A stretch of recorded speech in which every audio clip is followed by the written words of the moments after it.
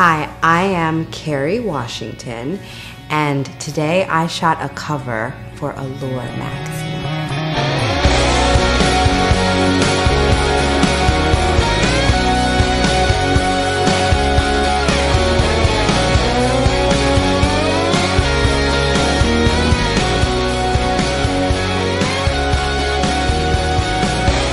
The inspiration for today's shoot came from a really fun conversation that I had with Paul, where we were trying to come up with ways that I haven't really been shot before. And he asked me how I was feeling in my life, like what sort of images were coming to mind. And I thought about those old, old pictures of Hollywood actresses at home, you know, like those studio system actresses like Marilyn Monroe, but at home in those more relaxed, sort of a peek into their life moments. And I thought that would be fun because I feel like there's so much wonderful goodness in my life, both professionally and personally, and it would be nice to feel like the shoot was a peek into the real me.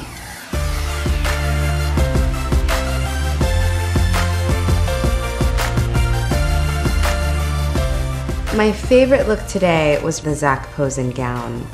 That gown is just a work of art. It it's extraordinary. All the textures and it's classic Zac Posen. It's so beautiful. I felt really special in it. I, I, try not to be too high maintenance when it comes to skincare and, and beauty routines, but I've had eczema my whole life since I was a little girl, so I've always gone to dermatologists, and I feel like that's important to have a relationship with a dermatologist so that you really understand the health of your skin. That's always been important for me. You know, my mother is a huge beauty inspiration for me, and partly because she's always really emphasized the idea of inner beauty being equally, if not more important than outer beauty, although she's also really pretty. So she's, I think she's definitely a beauty icon for me. The worst hairstyle or makeup look I've ever tried. No, I think life's too short, no regrets, live in the moment.